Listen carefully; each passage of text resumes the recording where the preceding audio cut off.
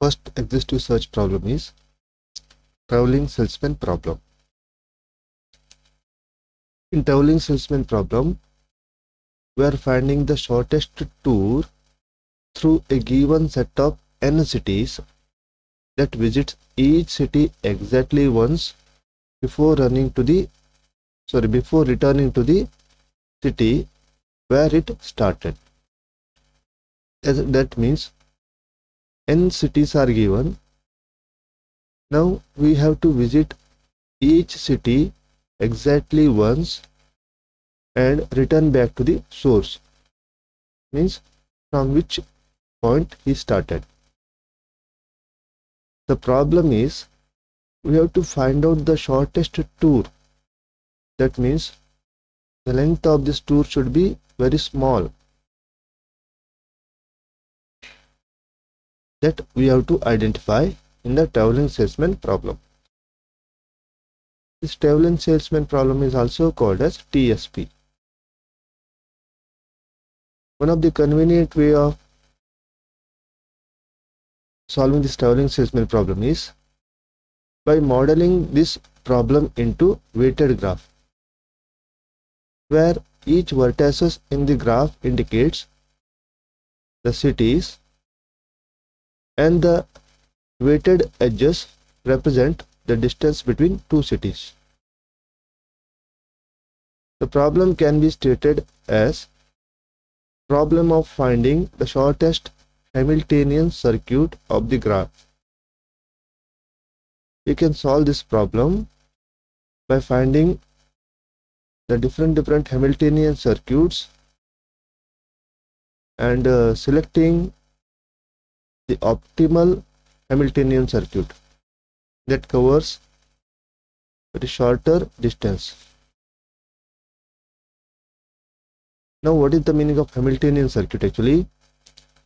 The Hamiltonian circuit can also be defined as a sequence of n plus 1 adjacent vertices that is v of i0, v of i1, v of i2 like that up to v of i n minus 1 and again last one is v of i 0 if you see properly here the starting vertex and the la last vertex are the same. Means the tour will be started from one node and visiting the adjacent node visiting the next adjacent node. Like that he will visit each and every adjacent node and reach to the starting node. Totally here the first node and the last node is same but the all the in, in between means vi1 to vin minus 1 that is totally n minus 1 vertices are here are distinct. Distinct means there is no duplicate here. We can get all the tools by generating all the permutations of n minus n minus 1 intermediate cities.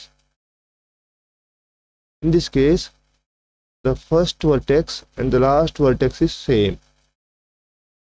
It never be changes but the intermediate n minus 1 cities using these cities we are creating permutations. We are generating one permutations and find out different different combination of these cities. Then we will find out whether this combination will create a Hamiltonian circuit.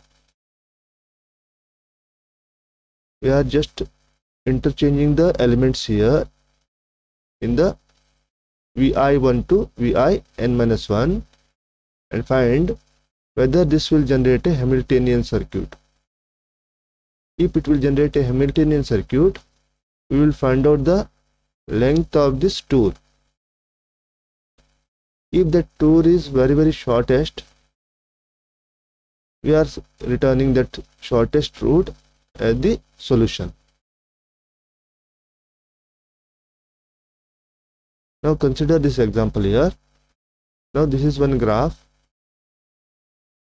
And uh, the tour started from here a node called as a.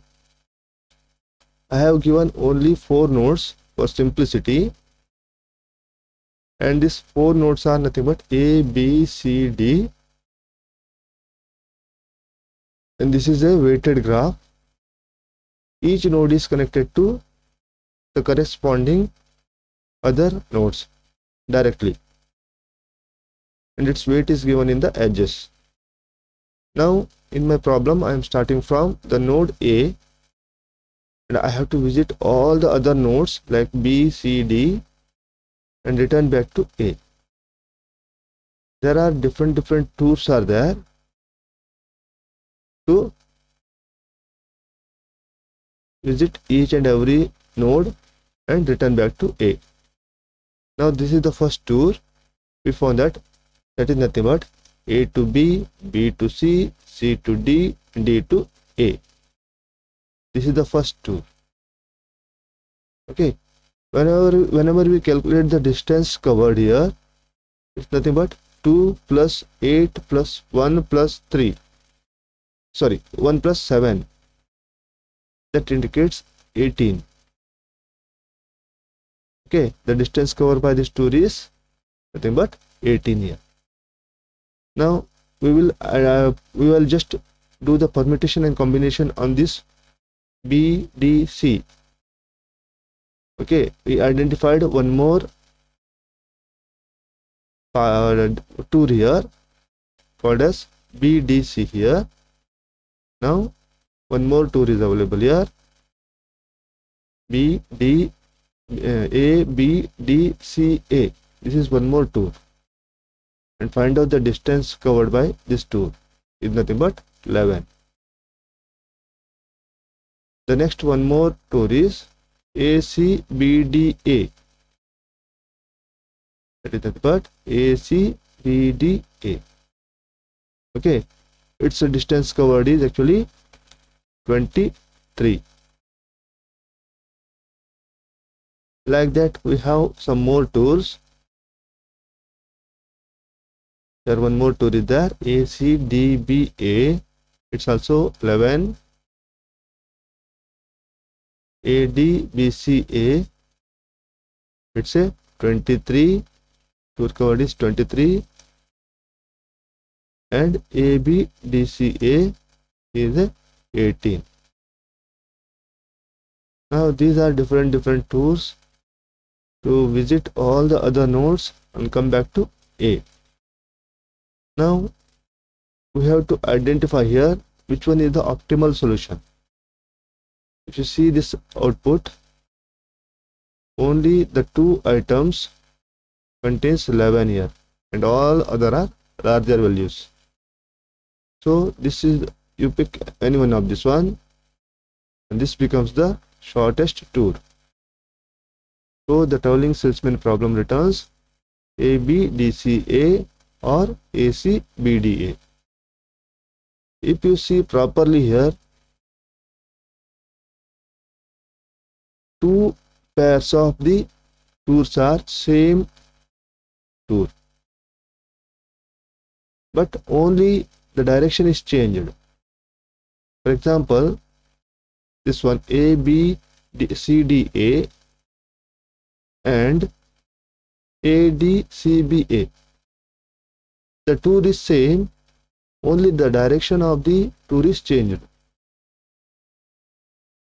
So instead of this is also ABDCA and ACBDA. This is also same tour but only reverse direction. Means same tour is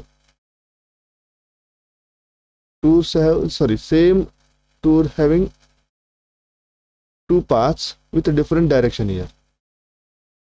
So instead of picking the sixth tour, I can pick only three tour. That is half permutations. We can pick only one tour instead of duplicate tour by picking any two node which is preceding with each other. For example, in our example, we think that B is always preceding the C. If whenever the C comes first and B comes later, we think that that node is that tour is repeated here. For example, see this example here. Here B comes first, then C. So A, B, C, D, A, I am selecting as the 1, 2. If you consider this one, A, this is also the same tour, but reverse order. A, D, C, B, A, here C comes first, B comes later. It's both tour are same, but in reverse order but C comes first here then B so I just reject this tour because C comes first similar things happens here and here also. B comes first C comes later. Here C comes first B comes later. So I just reject this two and pick only this two. Okay.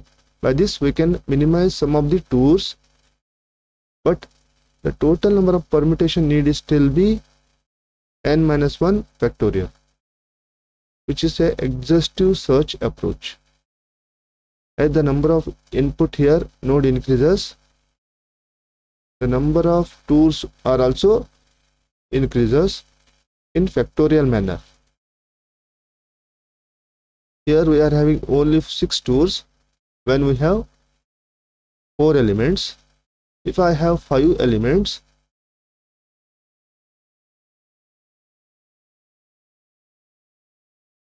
we have totally 24 different tours instead of 6 tours here we have different maximum number of tours okay? The order of growth of this exponential problem is factorial okay